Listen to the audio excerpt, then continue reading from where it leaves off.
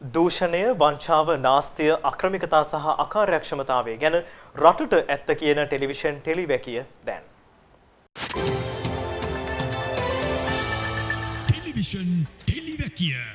අදලියන්නේ හාරසියසු අටවැනි ටෙලිවැකිය. ලංකාවේ ඉන්න මැති ඇමත්තනල කියන හැටියට ජනතාවට අවුරුදු හොඳටූම ජයයි. කොච්චර ජයද කිව්වොත් කිරිපැණි විතරක් නෙමෙයි හාල් කිලෝ විස්සත් මේ උතුරලත් දෝරෙ ගලා ගියා නේද. ජනපති රනිල් මේ නුවරෙලිය ඉඳලා කොට්ටාපොරත් නැරඹවා. මොකද මේ චන්ද කොට්ටාපොරේ ළඟයිනේ නේද. ඒ අතර අර නිවේදිකාවක් ජනපති රනිල්ගෙන් හපු ප්‍රශ්නය එක හරි වැදගත්. ඔබතුමා මෙච්චර ලස්සන වනේ කොහොමද මෙච්චර ලස්සන වනේ කොහොමද.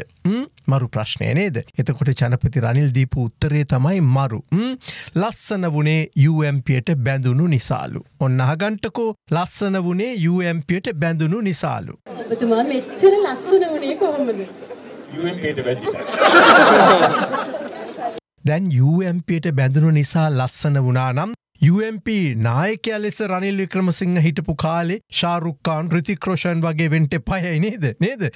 මොනතරම් ලස්සන වෙන්ට ඕනද නේද? ඇත්ත උත්තරේ ඕක නෙමෙයි. මේ නිවේදිකාවටත් ජනපති රනිල්ව වෙනදට වඩා ලස්සනට පෙනුණේ එයයි දැන් ජනපති නිසයි. ඔවු එයයි දැන් ජනපති නිසයි. ජනපති වුණහම ලැබෙන සැප සම්පත් නිසා පාට වැටෙන්නේ නැති කෙනෙකු නෑ.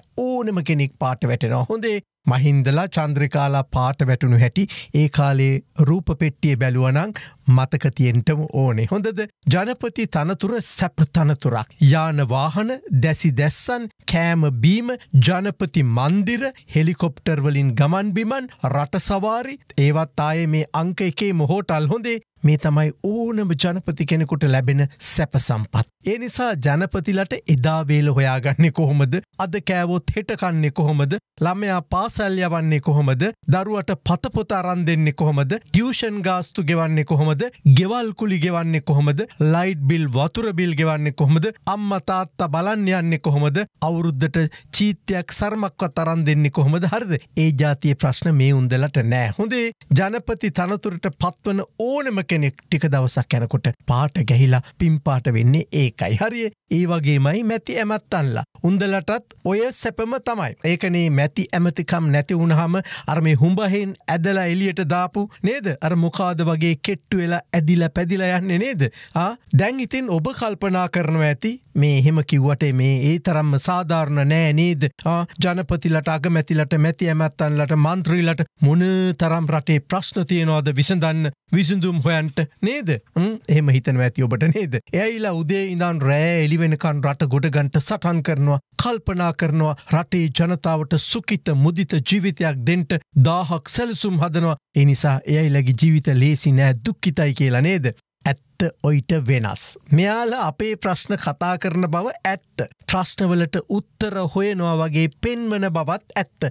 හැබැයි ඒ ප්‍රශ්න එයාලගේ ප්‍රශ්න නෙවෙයි. ඒ ප්‍රශ්න එයාලගේ ප්‍රශ්න නෙවෙයි. ඒවා මේ ජනපති අගමැති මැති ඇමත්තන්ලගේ මන්ත්‍රීලගේ ගෙදර ප්‍රශ්නවත් දරුවන්ගේ ප්‍රශ්නවත් නෙවෙයි. ඒ අයගේ සැබෑ ජීවිතයේ ප්‍රශ්න නෙවෙයි. හොඳේ ඔවු ඒවා හුදු වේදිකාවේ ප්‍රශ්න පමණයි. මේ සියලු දෙනාම අපේ ප්‍රශ්නවලින් බාහිර අය. මේ සියලු දෙනාම අපේ ප්‍රශ්නවලින් බාහිර අය. මේ අපේ ප්‍රශ්න. ඒවට උත්තර හොයන බව පෙන්වන ඒ වෙනුවෙන් කිඹුල් කඳුළු හලන නඩයක් විතරයි මේ සෙට් එක හොඳේ. දැන් ඔබ දන්නවා මේ වෙලාවේ අපට ඇති ලොකම ප්‍රශ්නය වාහනයක් මිලදී ගන්න එකද? ඇ නමුත් මැති ඇමත්තන්ලගෙන් බහුතරයකට ඇති ප්‍රශ්නය වාහන ආනායනය කරන්නට බැරි සීමාවන්. හරිද? එනිසා ඒගොල්ලන්ට ඕනේ ආගේ සීමාව නැති කරලා එක ලිහිල් කරගන්ට හරිය අලුතින් වාහනයක් ගන්ට අද ලංකාදීප පත්තරෙත් මුල් පෙටුව තිබුණේ මන්ත්‍රීලා චන්දයට කලින් වාහන ඉල්ලනවා කියලායි. හොඳේ දැන් සමහර වෙලාවට කියයි එක බොරුවක්.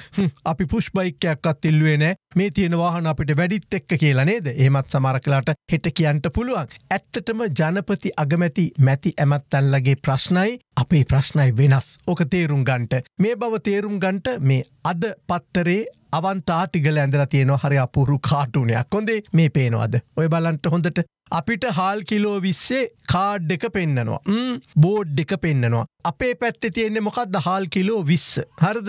මොකද කුසගින්න මරු. හරද?